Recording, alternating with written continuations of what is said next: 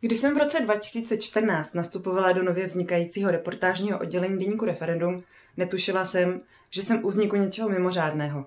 Dnes už to tak vnímám. Od žlutého barona přes normalizaci nenávisti, průkopnické psaní o krizi bydlení, obchodu s chudobou nebo otravu Bečvy jsme se postupně dostali až k psaní o podnikání fosilních oligarchů, jako jsou Daniel Křetinský a nebo Pavel Tykač. Po celé ty roky jsme si vytvářeli vlastní styl práce, s ním jsme se ale v českém prostředí cítili trochu osamělé a proto jsme se začali ohlížet za inspirací do Evropy i do celého světa. Dnes už se v podstatě cítíme být součástí globální komunity investigativních novinářů, která sdílí přísné nároky na svou vlastní práci.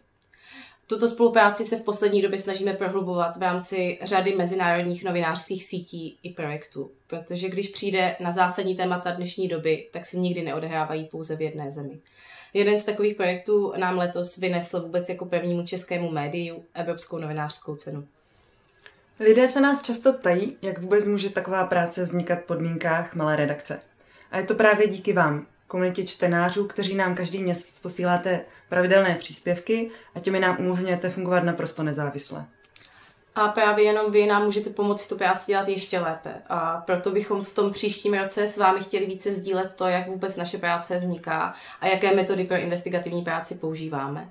Chtěli bychom čtenářům více vysvětlovat to, jak se pátrá po firmách, které sídlí v daňových rájích, anebo kde se berou informace z policejních spisů.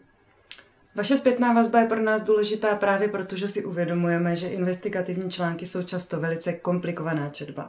A jenom díky vaší zpětné vazbě se můžeme dostat tam, kde budeme čtivější, srozumitelnější a nakonec taky vlivnější.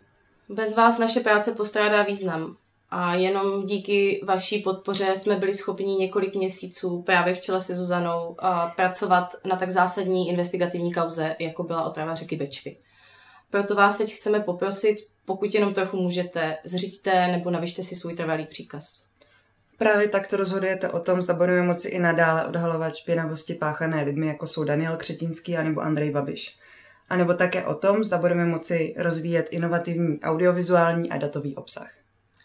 Právě jenom díky trvalým příkazům jsme schopni dále pracovat na investigativách, které zabírají měsíce soustředěné práce. A my jsme sice malý tým, ale současně věříme tomu, že za tu dobu, co existujeme, tak naše zjištění dokázala proměnit českou veřejnou debatu. Děkujeme, že jste s námi a přejeme vám hezký advent. Jsme rádi, že vás máme. Jako jsou Daniel Křetinský anebo Andrej Tykač. Andrej Tykač. Bez vás naše práce postrádá smysl. Je to význam je lepší, že? Co jsme tím vlastně chtěli říct? Bez vás naše práce postrádá Prostě, že když jako to nikdo nebude číst, tak je to k ničemu.